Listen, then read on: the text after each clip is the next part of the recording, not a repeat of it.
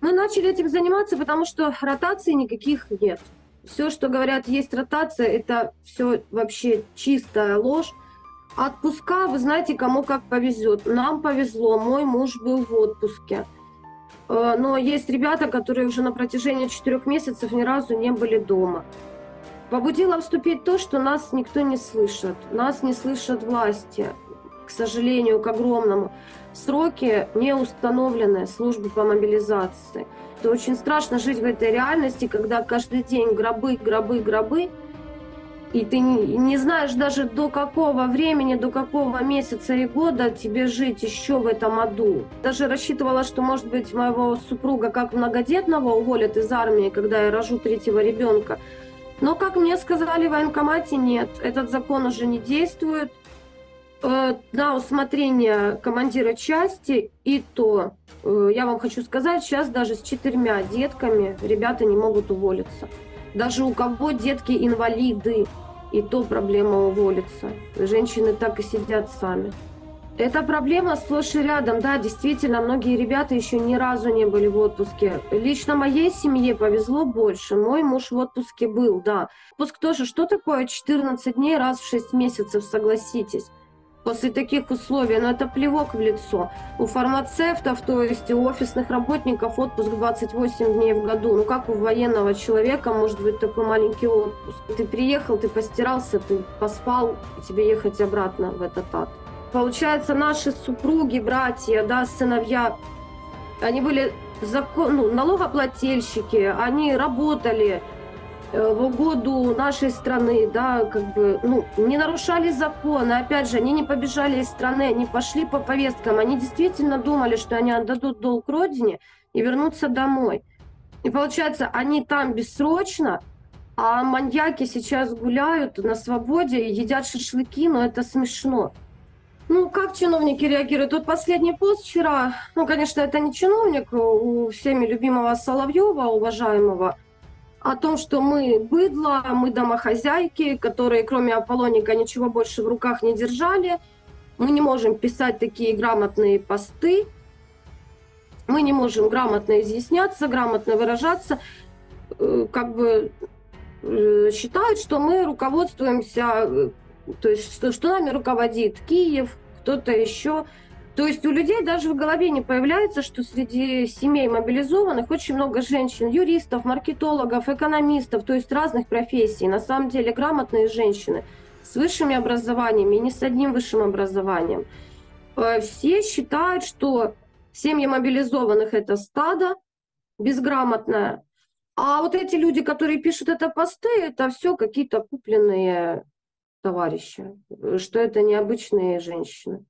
Вітаю, шановні глядачі YouTube каналу Прямий. Мене звати Наталія Бочин. Нашим співрозмовником сьогодні є полковник запасу збройних сил України і військовий аналітик Петро Черник. Вітаю вас, пане Петре. Слава Україні! Героям слава!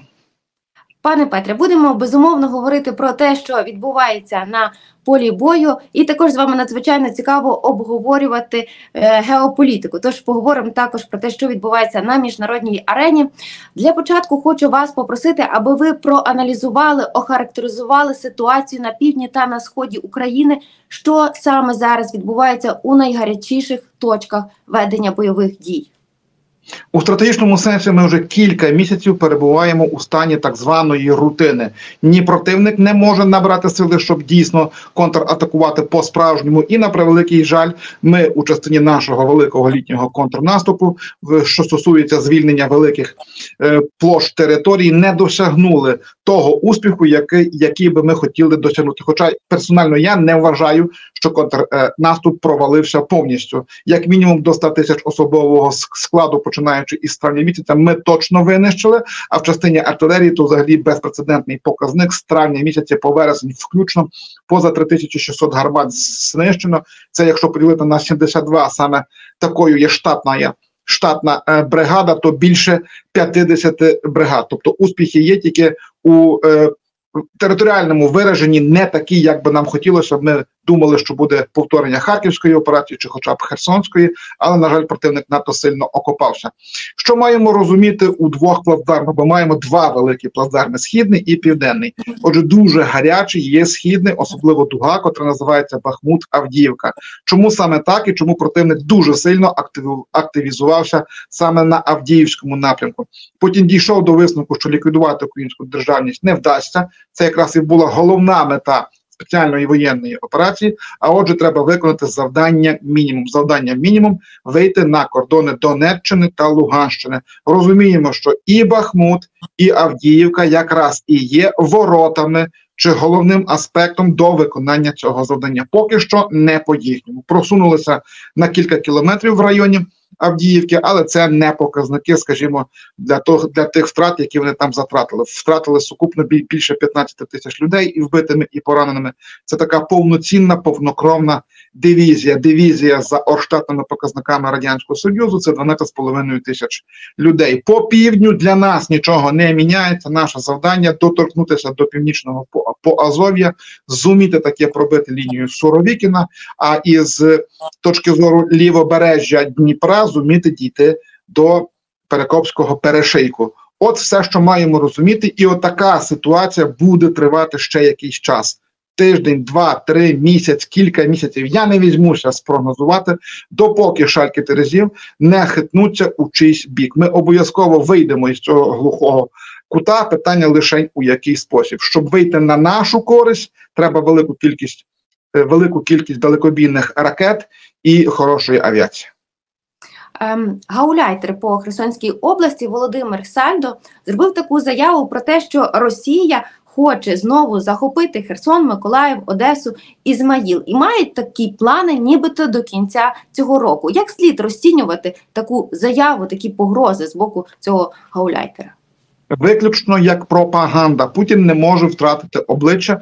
Цю пропаганду він буде нескінченно генерувати. Направду нічого нового. Класичний гебелівський принцип. Гебель сказав: Я можу втратити голову, я не можу втратити обличчя. Пам'ятаємо, що тиранія живе рівно доти, доки підтримує його власне населення. Згадаємо досвід Муамара Каддафі, який тяжко загинув. Згадаємо досвід Саддама Хусейна, якого повісили. Згадаємо досвід Слободана Мілошевича, котрий за загадкових обставин помер у європейській тюрмі. Не кажучи вже про Хосні Мумбарака, котрий 6 років просидів у в'язниці, і це далеко не повний перелік, якщо дивитися глибоко в історію. Мусить пропаганда тонізовувати своє власне населення. Росія пе- перейшла у філософію осадженої фортеці. Вона звідти вийти не може, допоки існує цей режим. Підпишіться на канал і не пропускайте нові відео. Пишіть коментарі і діліться з друзями. Ми також будемо вдячні за підтримку нашої роботи на Patreon або інших зручних платформах. Реквізити в описі до відео.